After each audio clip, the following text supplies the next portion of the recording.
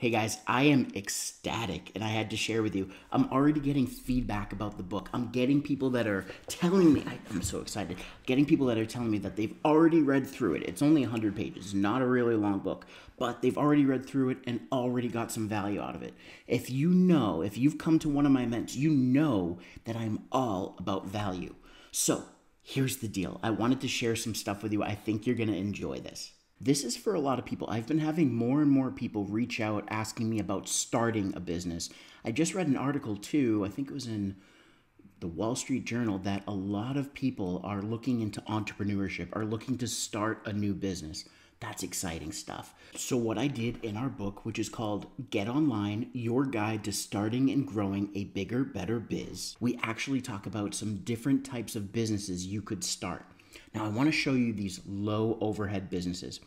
What that means, they don't take a lot of time or money to get off the ground.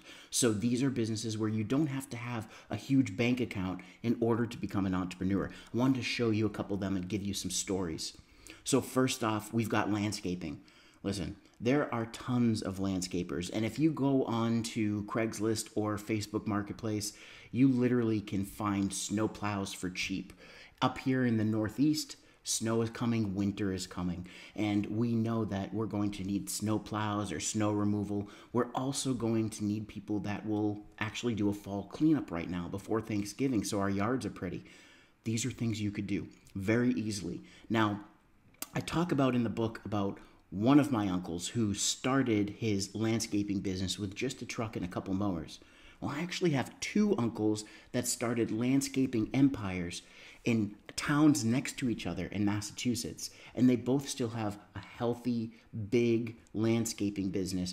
And I'll tell you, they just started with humble beginnings a lawnmower, some rakes, and then they started hiring. This is something you can do by yourself and grow your team.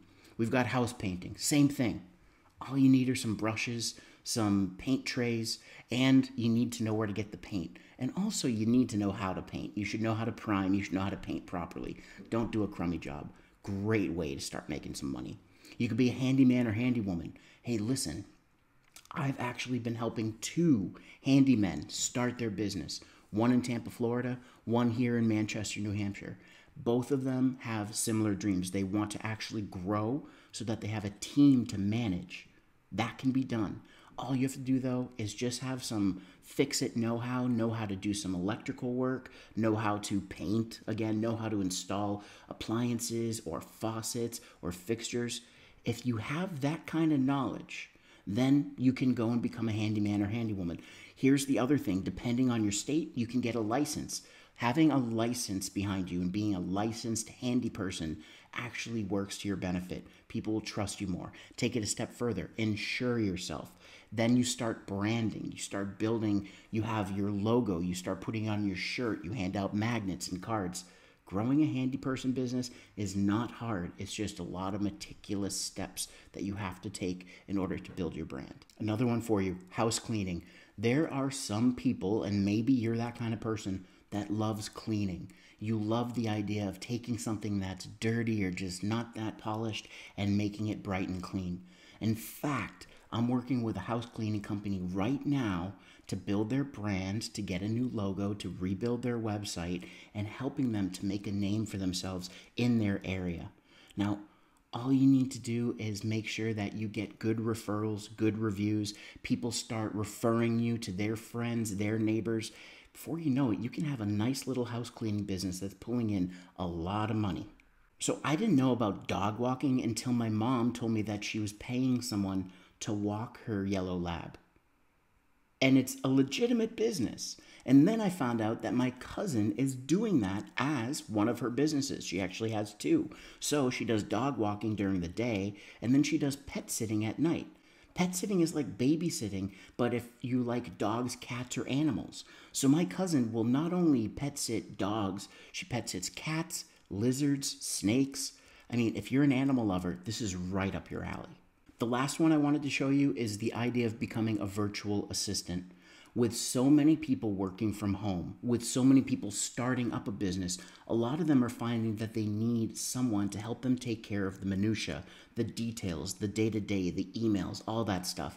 In fact, my brother in law runs two barbershops. He just hired a personal assistant to help him run that day to day so that he can think more about the strategy, the marketing, those types of things. Now, being a virtual assistant, you have to be good on the computer. You need to have your skills so that you know how to do internet research, data entry. You need to be good at things like Google Workspace and other types of tools. But if you have that know how, if you have a good eye for detail, you can definitely become a virtual assistant. These people are making anywhere from 15 bucks an hour up to 45, 50 dollars an hour depending on their experience and what services they provide. So if you're sitting at home right now and you're trying to think of what kind of business am I going to start, those are some great ideas for you to start with plenty more in the book. I actually give you a ton of ideas for starting your business, whether it's a low investment and low cost, or if you do have the budget, putting in a little bit more money for a business that has more room to grow profitable and grow faster. Either way, whether you're starting a business or you have a business and you want to learn how to market it, promote it, and grow that bigger, better small business, I want you to read the book. There is a lot of good value in here. Listen, I started my business 10 years ago. Now, 10 years ago, I knew nothing about marketing. I knew very little. I didn't even know what SEO was or how to do it. Now I'm teaching people on a national scale how to do SEO. If I can learn that kind of stuff, you can learn how to grow your business. And this book is meant for you. It's a guide to help you actually grow. It's giving you curated resources, it's giving you checklists so that you can start your business on the right foot. My goal here, I want you to read through these 100 pages, and it's a very easy read, by the way. And I want you to learn, I want you to take notes, I want you to ask questions. And like I said at the beginning of this video, give me feedback. If there's something that's missing, let me know. If there's something that was a light bulb moment, let me know. I wrote this for you. So, guys, I hope you enjoy the book. If you have friends or family who are looking at starting a business or who own a business, share the link with them too. Share the love. Until next time, stay well, stay healthy, and here's to your success.